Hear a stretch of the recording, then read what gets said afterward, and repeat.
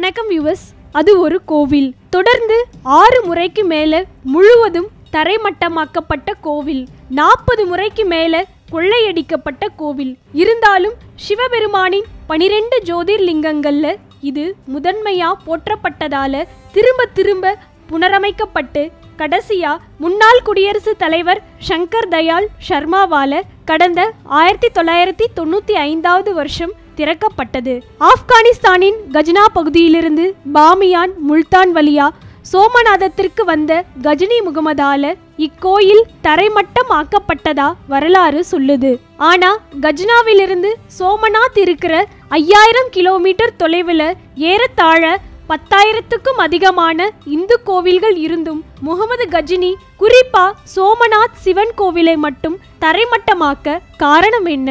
இந்து மதத்தை அழிக்கிறதுக்காகவே முகமது கஜினி ஆப்கானிஸ்தான்லிருந்து இந்தியா மேல படையெடுத்தார்னு வரலாற்று ஆசிரியர்கள் சித்தரிச்சாலும் அவர் இடைப்பட்ட எந்த இந்து கோவிலையும் ஏன் சூறையாடல? இந்த ரெண்டு கேள்விக்கும் ஒரே பதில்தான். அந்த காலகட்டத்துல சோம்நாத் கோவில்ல மட்டும் ஏறத்தாழ இருபது மில்லியன் தங்க தினார்கள் இருந்ததா வரலாற்று ஆய்வாளர்கள் சொல்றாங்க. தவிர முகமது கஜினியின் படையில இருந்த போர் வீரர்கள்ல முப்பத்தைந்து சதவீதம் பேர் இந்துக்கள் தான் அவரின் பனிரெண்டு முக்கிய படைத்தலைவர்கள்ல ஐந்து பிரதான படைத்தலைவர்கள் சனாதன தர்மத்தை அதாவது இந்து மதத்தை பின்பற்றினவங்க.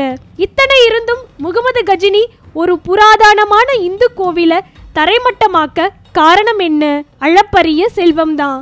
சோம்நாத் ஒரு தீர்த்த தலம் மூன்று முக்கிய ஆறுகள் சந்திக்கும் திருவேணி சங்கமம். இது மௌரியர்களின் ஆட்சி காலத்துல புகழ்பெற்ற துறைமுக பட்டினம் நம்ம ஊர் காஞ்சி போல பௌத்தம் சமணம் வைணவம் சைவம் ஆகிய மதங்கள் ஓங்கி வளர்ந்த ஸ்தலம். தொடர்ந்து ஆறு முறை தரைமட்டமாக்கப்பட்டும் அக்கோயில் திரும்ப திரும்ப எழுதுனா அதுல எவ்வளவு தங்கம் வைரம் வைடூரியம் உள்ளிட்ட நவரத்தினங்கள் இருந்திருக்கணும். குஜராத்தின் தென்மேற்கு கரையில பிரபாச பட்டினத்துல இருக்கிற இது செல்வ செழிப்பான பத்தாயிரம் கிராமங்களின் காணிக்கைகளால நிரம்பியது. மேலும் வாழும்போதே ஒருவர் எந்த அளவுக்கு விலை மதிக்க முடியாத செல்வங்களை சோமநாதனுக்கு அர்ப்பணிக்கிறாங்களோ அந்த அளவுக்கு அடுத்த பிறவியில செல்வ செழிப்போட வாழ்வாங்கன்னு அக்காலத்திய மக்கள் நம்பினாங்க. அதனால திருவனந்தபுரம் அனந்த பத்மநாப சுவாமி கோவிலின் பொக்கிஷங்களுக்கு சமமா சோமநாதமும் அளப்பரிய செல்வங்களை பெற்றிருந்தது. இதுதான் முகமது கஜினியையும் படையெடுக்க தூண்டியது. கிபி ஆயிரத்தி இருபத்தி ஐந்தாம் ஆண்டுல கஜினி முகமதால தாக்கப்படுறதுக்கு முன்னாடி சோமநாதம் மரத்தாலான ஜோதிர்லிங்க கோவில். இது உயர் ரக தேக்காலான ஐம்பத்தாறு தூண்களையும் அழகிய வேலைப்பாடுகளோடு கூடிய சந்தன மரத்தாலான நுழைவு வாயிலையும் கொண்டிருந்தது. பிரதான லிங்கத்துக்கு பக்கத்துல தங்கத்தாலான பெரிய கோயில் மணியும் இருந்தது. கோயிலின் ஒவ்வொரு கால பூஜைக்கும் ஐநூறுக்கும் மேற்பட்ட நடன மாதர்கள் நாட்டியமாடுவாங்களாம். கூடவே ஆயிரத்துக்கும் மேற்பட்ட இசை கலைஞர்கள் தங்களது வாத்தியங்களால சோமநாதனை மகிழ்விப்பாங்களாம். இந்த எல்லாத்துக்கும் மேல கஜினி முகமத அதிக அளவு கவர்ந்தது தொங்கும் சிவலிங்கம் தான் ஆமா கருவறை லிங்கம் சுற்றியும் காந்த கதிர்வீச்சால ஈர்க்கப்பட்டு ஆகாயத்துல மிதக்கிற மாதிரி வடிவமைக்கப்பட்டிருந்தது.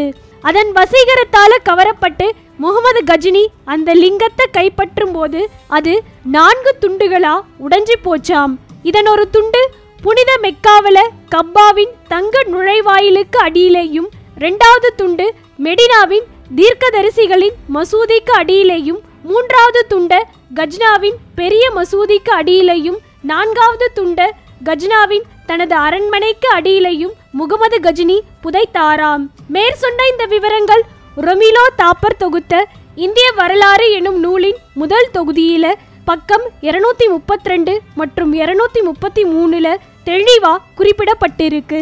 மற்றும் சோம்நாத் கோவிலிருந்து கஜினியால கைப்பற்றப்பட்ட சந்தனமர நுழைவாயில்கள் அவரது சமாதியில வைக்கப்பட்டதா சொல்லப்படுது.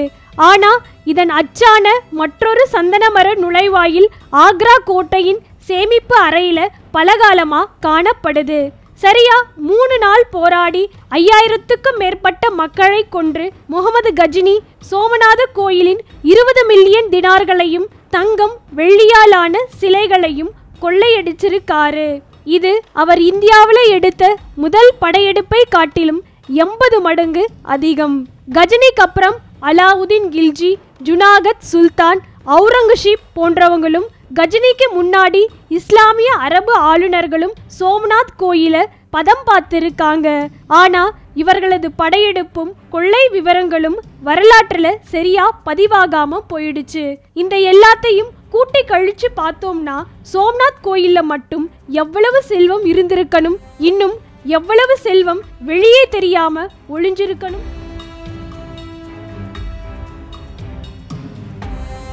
இன்னும் இது போல கோயில் சம்பந்தமான உண்மைகளை தெரிஞ்சுக்க மறக்காம டெம்பிள் ரகசியம் சேனலை சப்ஸ்கிரைப் பண்ணுங்க.